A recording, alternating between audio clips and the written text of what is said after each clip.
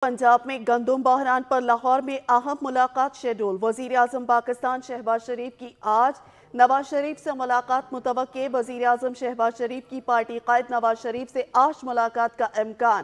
شہباز شریف نواز شریف کو گندم کے معاملے پر بریف کریں گے۔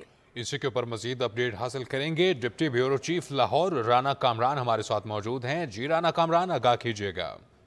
جی بالکل، گندم کے حوالے سے آج ایک اہم ملاقات متوقع ہے، جس میں میاں شہباز شریف جو ہے وہ صدر پارٹی نواز شریف سے ملاقات کرے گا اور ان کو بریفنگ دے گے۔ چونکہ اس حوالے سے گزشتہ دنوں بھی ایک اجلاس ماڈل ٹاؤن میں ہوا تھا، جس میں جی، جس کی صدارت جو ہے وہ شہباز شریف نے کی تھی، جس میں وفاقی کمیٹہ کے لوگ بھی شامل تھے۔